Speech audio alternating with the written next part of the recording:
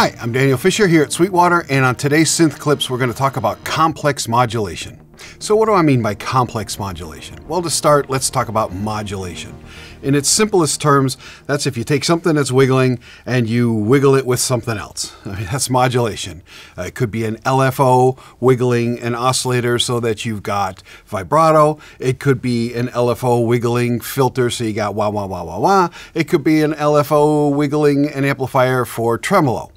Um, but it could be an envelope. It could be anything that wiggles, wiggling something else. That's modulation. Now, complex modulation, again, using the simplest terms, is when something's wiggling something that's wiggling something. Uh, or extended to that, right? So to demonstrate complex modulation, I'm using the ASM Hydrasynth.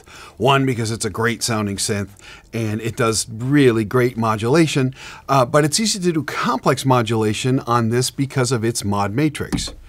Uh, so basically what I'm going to do is I'm going to assign LFO1 to the pitch of all the oscillators. So I just hit assign, I hit LFO1, I go down one level, and now I want to go to pitch. I could do oscillator 1 or oscillator 2 or oscillator 3. If I scroll one more, it's all oscillators. I hit it one more, it's set to pitch. If I turn that up, we're going to hear LFO1 modulating uh, the oscillator.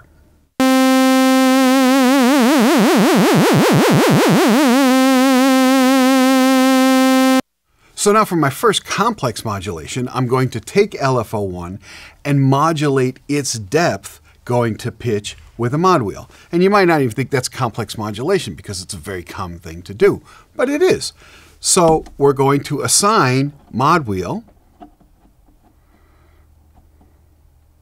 and we're going to send it to the mod matrix, and you just get there by touching mod matrix.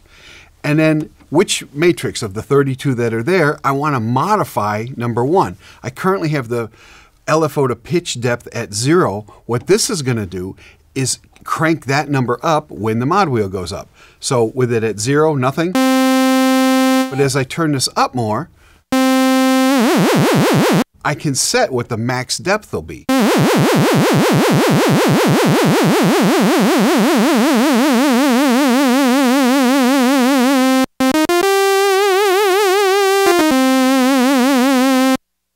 And for those who want to know the math, what I'm doing is, is I'm multiplying the amplitude of the LFO against this value. So when this is zero, it's multiplied by zero, there is no vibrato. When it's at 100%, it's multiplied by 100%, so you get all of the vibrato. All right, so now let's add one more level of complexity, and that is, while I push the mod wheel up, I not only want it to be deeper, but I want it to be faster.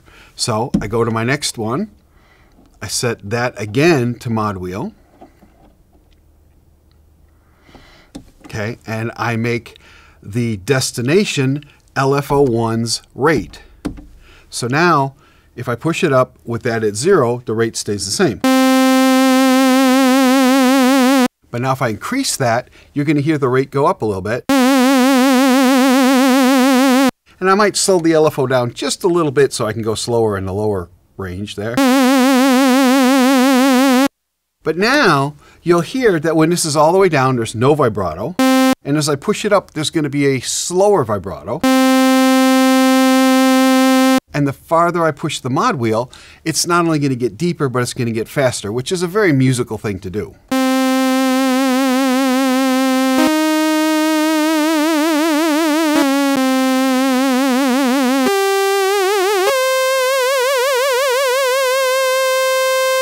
So now let's try another one.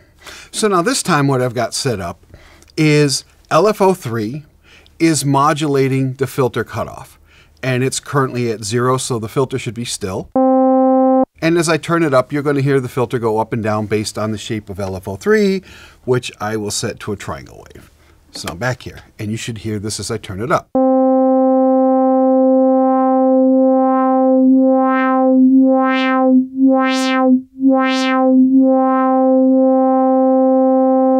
But I'm going to set it back to zero and now I'm going to use another LFO, LFO4, and I'm going to use it to slowly change how deep the LFO3 is modulating the filter cutoff. How did I do that? I took LFO4, I assigned it to mod matrix depth 1, which is this one, and I'm going to turn that amount up. So now listen to the filter cutoff without it. Now as I increase this, you're going to hear sometimes it has a wide depth, sometimes it has a narrow depth.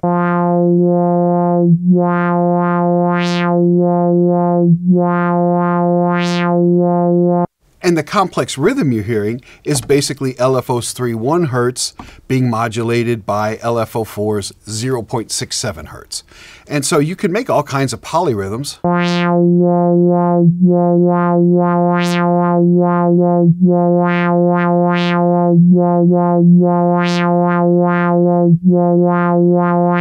And now I want to also use LFO5 to change the rate of LFO3. So we got three different levels of complexity going on here.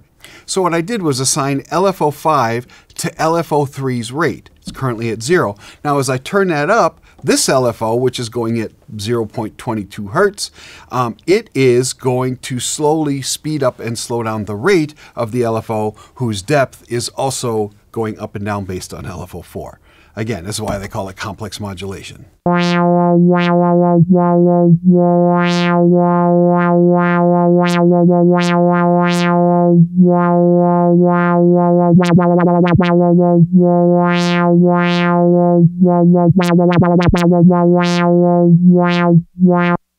And like I said, there's 32 of these modulation matrix slots. So you could do some very, very complex modulation simply by using each one to modify the previous one and chain them up. And it can get pretty crazy.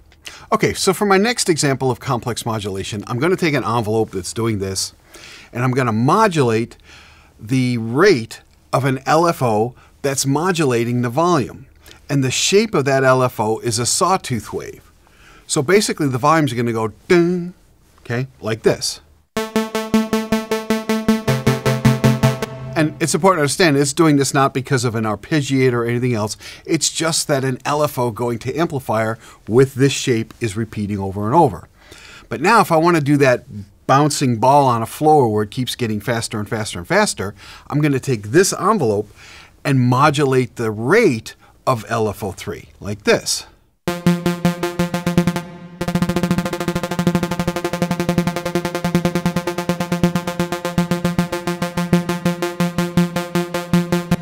That speed, it's more of a roulette wheel uh, than it is a bouncing ball, but we'll speed it up a little bit.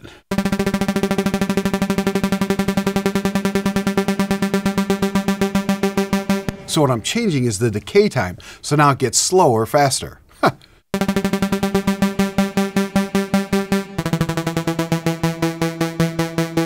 and I'm going to change the curve of it a little bit just because I can.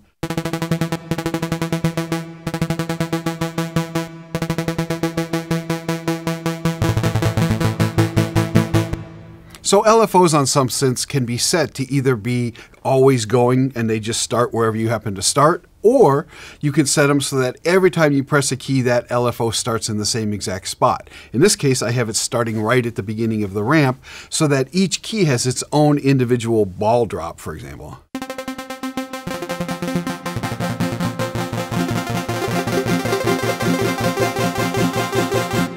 And just to pretty it up a little bit, I'm going to throw mutant on with some wave stacking here.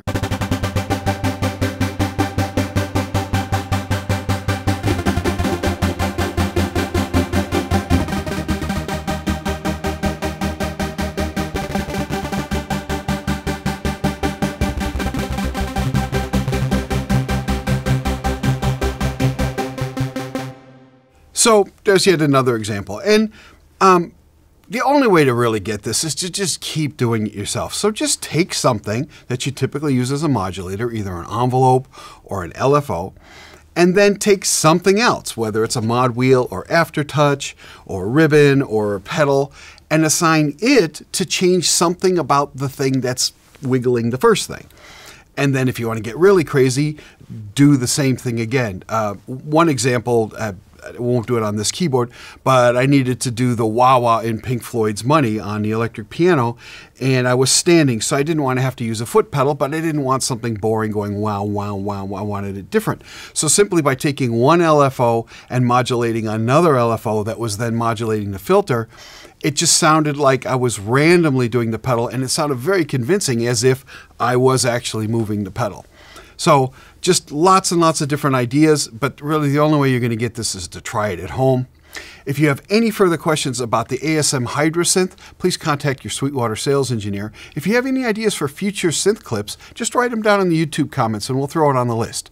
My name is Daniel Fisher. Thank you very much for watching.